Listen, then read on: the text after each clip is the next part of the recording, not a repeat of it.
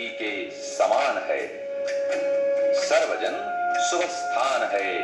भगवान का विधान है।